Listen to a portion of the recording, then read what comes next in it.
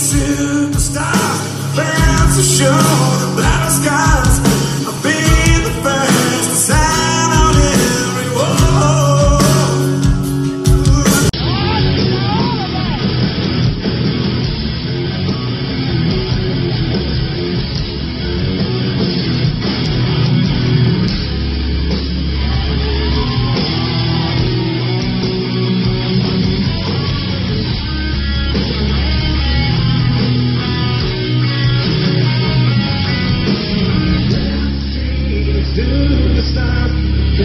to show without scars.